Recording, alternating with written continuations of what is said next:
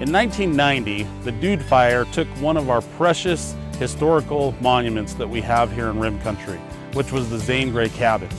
Right here in Green Valley Park though, we have completely built a replica of that cabin for all of our visitors to come and see and immerse themselves in the great history that is Zane Grey. I'm Sandy Carson and I'm president of the Northern Gila County Historical Society. The Northern Gila County Historical Society's mission basically uh, takes in about a 50 mile radius and the main purpose is, is to preserve the history of basically that 50 mile radius, radius mostly Payson, uh, and then to present that information in exhibits uh, to our visitors that come from all over the world.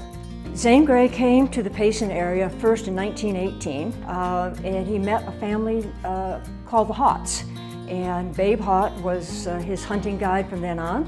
He actually then bought some land from Babe Haught uh, up under the rim, about 18 miles northeast of here. And by 1921, uh, the cabin was up. And Grey came back most years in the fall for hunting. He loved what he saw. Uh, he liked the people that he met. And those people that he met ended up in his books. Grey was a very prolific writer. He wrote 23 books set in Arizona, and 13 of those books were set up here in Rim Country. We are in the Zane Grey cabin. Uh, this is a replica that was built in uh, 2005, mainly by the efforts of uh, the Zane Grey Foundation. Uh, they raised the money, they, they built the cabin on Historical Society land. They furnished it with, with uh, things of the era, and um, then turned it over to the Historical Society in, in 2011. Inside the Zane Grey cabin, you will see artifacts and uh, furniture, very much what like Zane Grey saw. I frequently tell people that uh, if Zane Grey should happen to walk in, he would recognize his cabin. The cabin was abandoned for over 30 years. And in 1963, I believe it was, Bill Goettl from the, the Valley uh, bought it and restored it. It was basically falling down. And he basically rebuilt it on the same site. Um, eventually it became a private museum. And then in 1990, uh, it was one of the fatalities of the Dude Fire.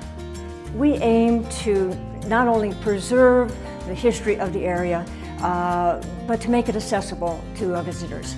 Uh, we have nearly 6,000 visitors a year. Zane Grey draws a lot of them, uh, but almost everybody then goes to the Rim Country Museum, and, and uh, we think they leave pretty happy with, with what we do. The Rim Country Museum is somewhat chronological. It starts with the prehistoric peoples that were here in great numbers in the, in the 1200s, but people have been here for about 11,000 years. Uh, we move on to the Tonto Apache people that moved into this area sometime in the 1500s. Obviously we have to do the rodeo because we're the world's oldest continuous rodeo. Uh, a little bit about mining, uh, a little bit more of Zane Grey over there. And then upstairs we have a pioneer kitchen and ranching. Of course, ranching was the economy of this place for a very long time. The Zane Grey Cabin and Rim Country Museum are uh, west on Main Street, uh, situated in beautiful Green Valley Park, uh, right beside the lake. Rim Country Museum Zane Grey Cabin is open year-round except for major holidays, closed on Tuesdays and a half a day on Sunday.